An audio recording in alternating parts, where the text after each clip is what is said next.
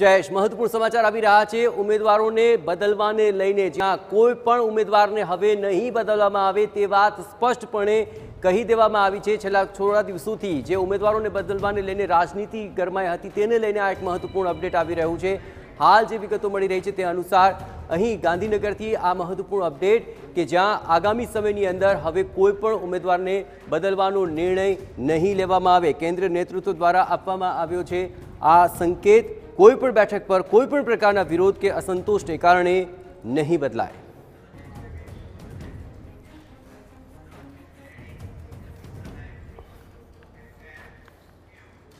અને આજ મામલે વધુ વિગતે વાત કરવા માટે જોડાઈ રહ્યા છે ટીવી નાઇન સંવાદદાતા કિંજલ. કિંજલ, વારંવાર છેલ્લા થોડા દિવસોથી જોઈએ છે કે જે બેઠક ઉપર વિરોધ હતો, ત્યાં ઉંમર બદબાર બદલાયા. તો બીજી બેઠકો ઉપર આવો જ વિરોધ સામે આવ્યો, આવી જ માંગ સામે આવી અને આખરે હવે આ પ્રકારનો એક નિર્ણય સામે આવ્યો છે. શું આ મજબૂરી છે કે પછી સમયની માંગ છે કે પછી આગામી સમયની અંદર આ પ્રકારની બીજી માંગોનો સામનો ન કરવો પડે? તેના માટે આ સ્પષ્ટ સંકેત જરૂરી હતો. કિંજલ?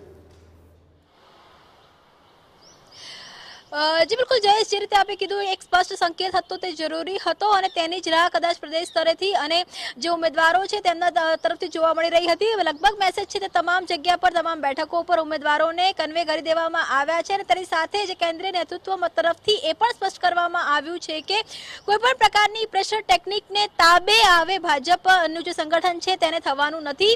જ્યાં સુધી વાત સમાજની છે, સમાજ, કે ક્ષત્રિય સમાજનો વિરોધ હોય કે ચોડા સમાજનો વિરોધ હોય તો સામાજિક સમસ્યાને ધ્યાનમાં રાખીને સામાજિક આગેવાનોને આગળ રાખી અને જે નારાજગી છે તે નારાજગી દૂર કરવાનો પ્રયત્ન કરવો જોઈએ. પરંતુ નારાજગીના કારણે ઉમેદવારોને બદલવાની કોઈ વાત છે તે થતી નથી. ક્ષત્રિય સમાજની જો વાત કરવામાં આવે તો ક્ષત્રિય સમાજની માફી પુરુષોત્તમ રૂપાલા દ્વારા માંગી લેવામાં આવી છે. ત્યારે એ બેઠક ઉપરથી બીજા કોઈ ઉમેદવારને પણ ઊભા કરવાનો કોઈ પ્રશ્ન છે તે નથી થતો. સુરેન્દ્રનગરની વાત કરવામાં આવે તો સુરેન્દ્રનગરમાં કોળી બેઠક જ છે. ત્યારે કોળીને જ જ્યારે ટિકિટ આપવામાં આવી છે. અને બીજી વાત, એક ભાજપ તરફથી એક જે સંકેત આપવામાં આવ્યા છે કે જ્યારે પણ કોઈ પણ વ્યક્તિ અન્ય પક્ષમાંથી ભાજપમાં આવે છે ત્યારે ભાજપના થઈ જતા હોય છે. ત્યારે તે સમયની અંદર કે એ બહારના વ્યક્તિ છે તેના કારણે તેમને ટિકિટ ન આપવી જોઈએ.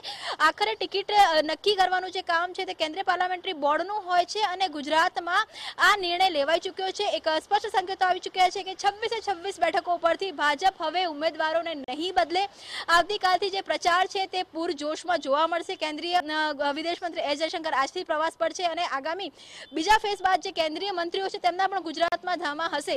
બે મુદ્દા સ્પષ્ટતાથી થઈ હોય, ચર્ચા થઈ હોય તેવી વાત આવી રહી છે કે જ્યાં કાર્યકર્તાઓમાં નારાજગી છે તેમાં કાર્યકર્તાઓ નારાજગી ચોક્કસ દૂર કરવી જોઈએ, પરંતુ કાર્યકર્તાઓ નારાજગી પાછળ જો કોઈ ભાજપના મોટા નેતાઓનો હાથ છે ઇન્ટેન્શનલી આ વસ્તુ કરવામાં આવી રહી છે, તો તેની સામે કડક પગલાં પણ લેવામાં આવશે. સસ્પેન્શન સુધીની વાત કરવામાં આવશે, પરંતુ જે પણ કોઈ પણ પ્રકારના પ્રેશર ટેકનિકની વાત કરવામાં આવે કે કોઈ પણ બીજા મુદ્દાઓને લઈને હવે ઉમેદવારો નહીં બદલવામાં આવે વર્ષ બે હજાર ચોવીસ લોકસભાની ચૂંટણી માટે ગુજરાતમાં જે છવ્વીસ ઉમેદવારો નક્કી થયા છે, તે જ ઉમેદવારો ચૂંટણી લડશે, ચૂંટણીનું ફોર્મ ભરશે અને સમગ્ર જે ગતિવિધિ છે તેમની આસપાસ રહેશે, જે પણ નારાજગી છે તે દૂર કરવામાં આવશે. પરંતુ જો ઇન્ટેન્શનલી કોઈ પણ કિન્નાખોરી રાખીને જો કોઈ નેતા આ પ્રકારની ગતિવિધિ કરી રહ્યા છે, તો તેના ઉપર કેન્દ્ર દ્વારા પણ ચાપતી નજર છે. તેનો રિપોર્ટ છે તે પણ રોજ દરબરોજનો મોનિટર થઈ રહ્યો છે અને એ જ કારણ છે કે આજે તમામ જે ઉમેદવારોને જે સંકેત આપવામાં આવ્યા છે કે આવતીકાલથી ચૂંટણીનો પ્રચાર પૂરજોશમાં થવો જોઈએ.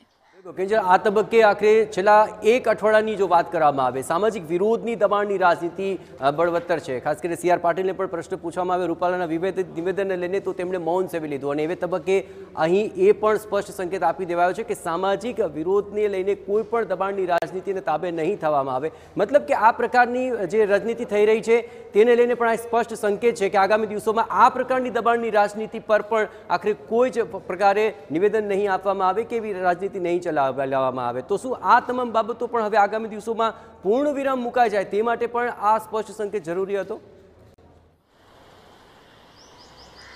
જી બિલકુલ. ગુજરાતની પર વાત કરવામાં આવે તો માનવામાં આવી રહ્યું છે. આગામી ત્રણથી ચાર દિવસમાં જે તમામ વિરોધ છે, ખાસ કરીને જે સામાજિક વિરોધ છે, તેની પર પૂર્ણ વિરામ મુકાઈ જાય છે, મુકાઈ શકે છે.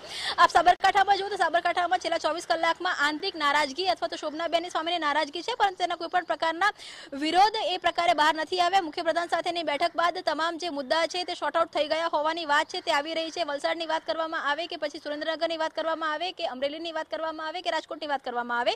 કોઈ પણ જગ્યાએ કે સામાજિક વિરોધ છે તો તેને સામાજિક સ્તરે તેને શોર્ટ આઉટ ચોક્કસ કરવામાં આવશે. પરંતુ કોઈ પણ સમાજ કોઈ પણ સમાજના દબાવને કારણે કે કોઈ પણ જાતિગત દબાવને કારણે ચહેરાઓની હવે જે બદલ છે તે નહીં કરવામાં આવે. જે ચહેરાઓ પસંદ કરી લેવામાં આવ્યા છે તે ચૂંટણીના મેદાનમાં હશે. અને આ એક મેસેજ છે કે જે સ્પષ્ટપણે આપી દેવામાં આવ્યો છે અને એવું લાગી રહ્યું છે કે આ મેસેજ બાદ આગામી ત્રણથી ચાર દિવસની અંદર ગુજરાતમાં ભાજપમાં જે વિરોધનો વંટોળ છે તે શમી શકે છે. બિલકુલ કિંજલ આભાર તમામ ગતિવિધિઓ પર આપ નજર રાખતા રહેજો. તો જ્યાં આ તમામ રાજનીતિઓ સામાજિક વિરોધને લઈને થઈ રહી હતી અને ઉમેદવારોની બદલવાની માંગને લઈને થઈ રહી હતી, તેની ઉપર પૂર્ણ વિરામ આપે તે માટેનો આ સ્પષ્ટ સંકેત આપી દેવાયો છે.